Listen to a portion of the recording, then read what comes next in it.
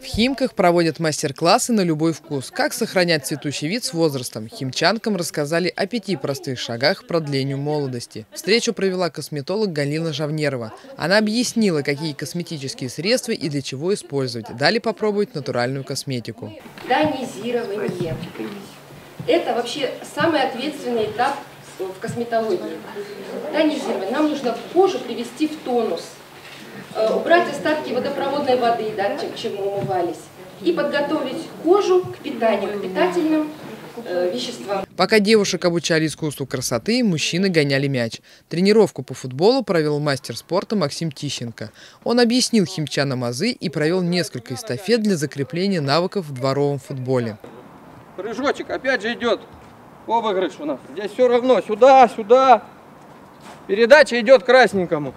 Возврат, Миша. Передача идет Эдику. Сброс, удар поворотом бьет тот, который в середине. Встреча прошла в спорткомплексе «Новые Химки» на улице Машинцева.